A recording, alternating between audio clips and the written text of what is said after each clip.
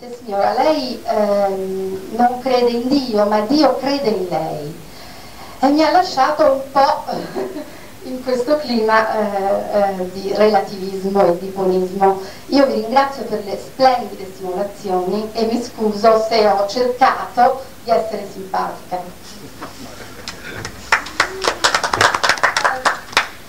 Se c'è qualcun altro che vuole intervenire è benvenuto.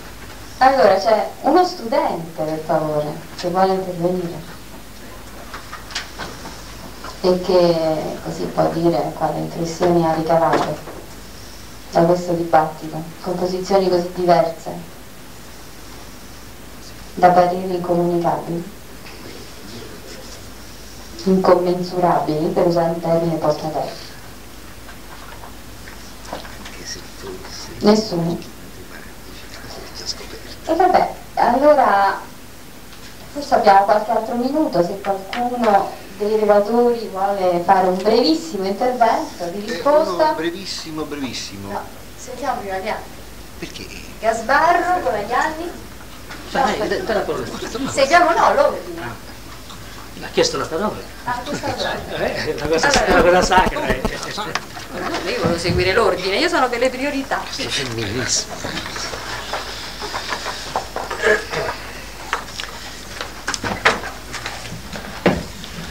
Eh, piccolissima cosa. Vorrei chiarire una con il collega Simonetta.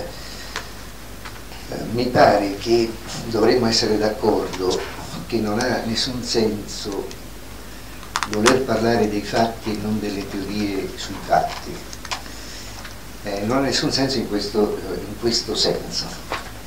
Se separassimo l'analisi dei fatti dall'analisi delle teorie sui fatti, saremmo nella più uh, franca metafisica. Evidentemente l'esperienza, il mondo è il mondo in cui noi viviamo, in cui abbiamo dei rapporti, delle relazioni e una parte di queste relazioni sono relazioni conoscitive in realtà l'uomo ha bisogno di mangiare ma anche di pensare e mangiando e pensando costruisce il mondo anche. Per cui non è possibile separare l'una dall'altra cosa. E mi pare proprio che dovremmo essere d'accordo con Simoni che in questa maniera e solo così si evita l'assoluto, proprio perché si mette al centro l'interrelazione dell'uomo con l'ambiente parole povere, della reciproca azione dell'ambiente sull'uomo e dell'uomo sull'ambiente. Solo in questa maniera si evita l'assoluto e allora per esempio si potrebbe eh, dire che eh, il discorso di Simonetta va preso molto più sul serio di quanto lui non lo presenti, nel senso che ha un implicito filosofico, è sotteso una teoria generale non è vero che semplice discorso pravicistico, eh, sottende una teoria e quindi eh, vale la pena invece di discutere anche sul piano teorico.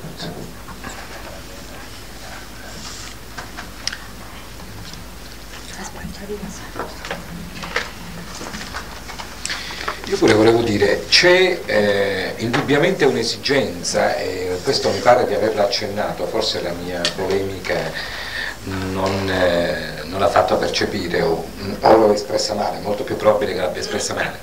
E io non è che non riconosco una, eh, dire, una struttura critica insofferente, a volte aggiungo giustamente insofferente